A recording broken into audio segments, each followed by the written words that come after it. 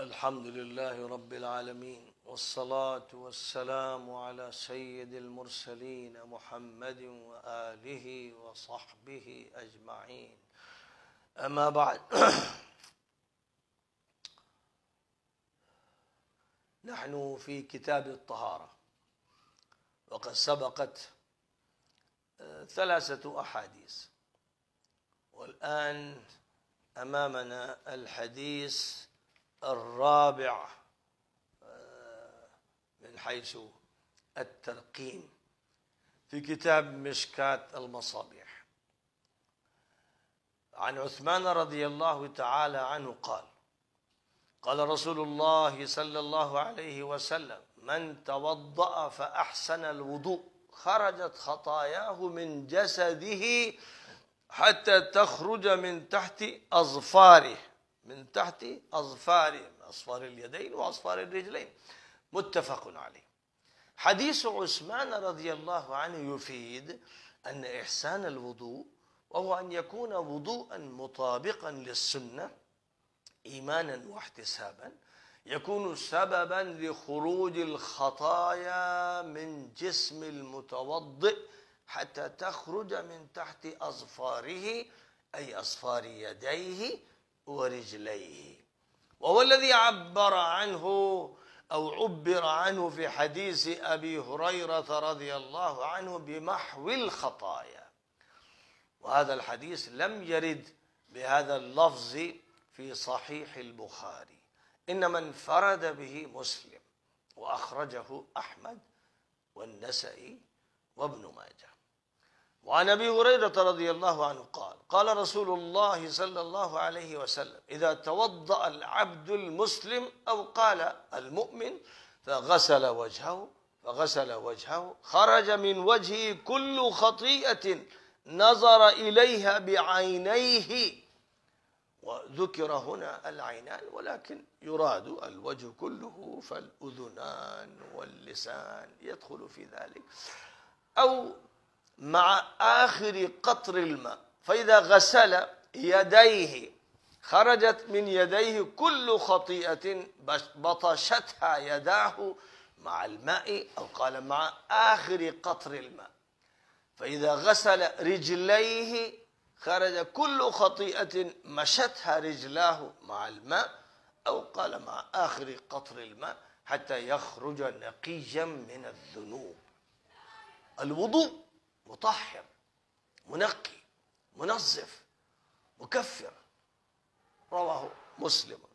وبنفس المعنى يعني المعنى الذي تقدم ورد حديث أبي هريرة الذي بين الإجمال في حديث عثمان. فقد ذكر فيه الجسد مجملا وبين هذا الحديث أن المراد منه الوجه واليدان والرجلان.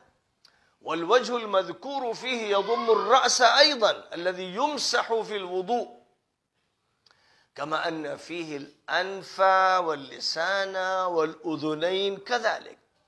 واقتصر على ذكر خروج خطايا العينين بالنظر. ولم يذكر خطايا اللسان والأذنين والأنف ولكنها كلها مقصودة بذكر الجسد عموما. إلا أنه لا بد أن يعلم أن هذا التكفير والمغفرة وحط الخطايا لا يشمل الكبائر كما يأتي في حديث عثمان رضي الله تعالى عنه. فعن عثمان قال قال رسول الله صلى الله عليه وسلم ما من امرئ مسلم تحضره صلاة مكتوبة فيحسن وضوءها وخشوعها وركوعها إلا كانت كفارة لما قبلها من الذنوب ما لم يؤت كبيرة وذلك الدهر كله. رواه مسلم. ففي هذا الحديث عن عثمان رضي الله تعالى عنه ذكر إحسان الوضوء للصلاة المكتوبة وهي المفروضة ولكن النافلة كذلك مشمولة وهي داخلة داخلة في الصلاة. لم تذكر الصلاة المفروضة على سبيل الاحتراز لأن حكم النافلة في ذلك كحكم الفريضة. وأداء الصلاة بالخشوع والخضوع متواضعا متذللا مخبتا متضرعا وإتمام الركوع والسجود كفارة للذنوب ما لم يرتكب كبيرة. وهذا بظاهره يفيد أن مرتكب الكبيرة لا تكفر صغائره ولا تحط ذنوبه بالحسنات. وإذا هذا وإلى هذا المعنى تشير الآية الكريمة إن تجتنبوا كبائر ما تنهون عنه نكفر عنكم سيئاتكم وندخلكم مدخلا كريما. فالذي يلوث نفسه بالنجاسة الكبيرة لا تنفعه إزالة النجاسة الصغيرة. إذ من كان عليه الغسل لا يجوز له أداء الصلاة بالوضوء بل لابد من غسل لهذه النجاسة الكبيرة. ثم عند طريان النجاسة الصغيرة يكفي الوضوء. كذلك من هو ملوث بالكبيرة لا تكفر صغائره. وإن كفرت الصغائر وإن كفرت الصغائر فإنها لا تنفعه ولا ترد عنه العذاب. فلا بد أولا من إزالة الكبيرة بالتوبة الصادقة النصوح وهي بمثابة الغسل للنجاسة الكبيرة. ثم تعود قاعدة الحسنات يذهبن السيئات. وعندئذ يكفر وضوءه وصلواته وأعماله الحسنة السيئات. قال المحدث المبارك فوري رحمه الله ثم ظاهره أن كون الصلاة كفارة الذنوب مشروط بعدم إتيان الكبائر فإن أتى بالكبائر لم يكفر صغائره وهو الظاهر من قوله تعالى إن تجتنبوا كبائر ما تنهون عنه نكفر عنكم سيئاتكم. لكنهم قالوا معناه أن الذنوب كلها تغفر إلا الكبائر فإنها لا تغفر. قال النووي هذا هو المراد. والأول وإن كان محتمل العبارة فسياق الحديث يأباه والكبائر إنما يكفرها التوبة أو رحمة الله تعالى وفضله. وقد يقال إذا كفر الوضوء فماذا تكفر الصلاة؟ وإذا كفرت الصلاة فماذا تكفر الجماعات وغيرها؟ مما ورد في الأحاديث من مكفرات الذنوب.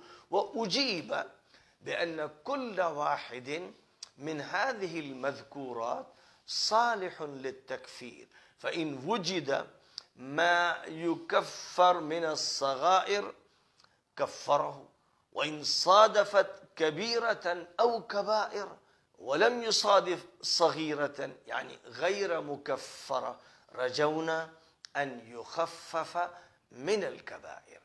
وإن لم يصادف صغيرة ولا كبيرة كتبت به حسنات ورفعت به درجات. فالإنسان الذي يجتنب الكبائر ويحفظ نفسه من الصغائر أيضا.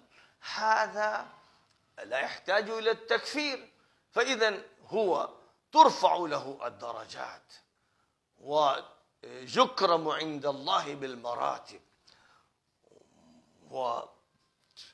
ويعامل معاملة الفضل والمن والإحسان. فأي عمل كان لا يذهب سدى.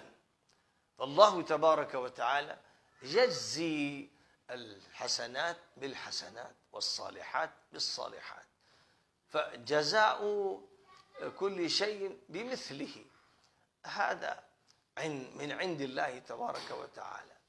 إذا آه، إذا كان الإنسان عنده صغائر فإن وضوءه يكفر الصغائر وصلاته تكفر الصغائر وصدقته تكفر الصغائر. ولكن إذا كان هو مرتكب الكبيرة فالكبيرة تحتاج إلى التوبة.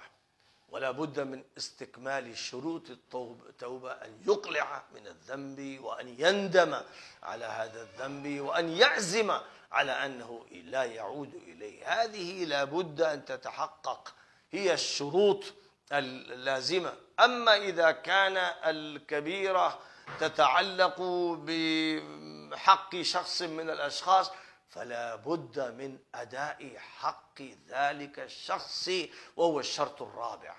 لأنه إذا لم يفعل ذلك فالكبيرة لا تغفر ولا تكفر. إذا لا بد من آه، إكمال شروط التوبة. فإذا كانت هذه الشروط موفاة فالكبائر يغفرها الله تعالى ويكفرها الله تعالى. ولكن إذا كانت الكبيرة موجودة فيخشى ألا تكفر صغائره أيضا. وإذا كانت الصغائر كفرت فإن الكبيرة تبقى. وبقاء الكبيرة معنى ذلك بقاء النجاسة الكبيرة. فإذا كان الإنسان ملوثا بالنجاسة الكبيرة الحكمية أو الحسية. ولا شك أن الطهارة الصغيرة لا تنفع شيئا. فلا بد من النجاسة الكبيرة الحكمية من الغسل من تطهير البدن ومن الغسل أيضا. لا يكفي الوضوء عند ذلك. كذلك لا تكفي الحسنة لمحو الكبيرة إنما تكفي لمحو الصغيرة. هذا القانون ينبغي أن نعرفه وهو جاء ذكره في كتاب الله تبارك وتعالى. كما جاءت أحاديث نبوية تنبه آه، على هذا القانون الذي هو قانون آه، مقرر من عند الله تبارك وتعالى. ولا بد أن يراعي عبد الله. هذا القانون من الله عز وجل حتى يكون مغفورا وحتى تكون ذنوبه مكفرة إن شاء الله تعالى. وأكتفي بهذا وآخر دعوانا أن الحمد لله رب العالمين.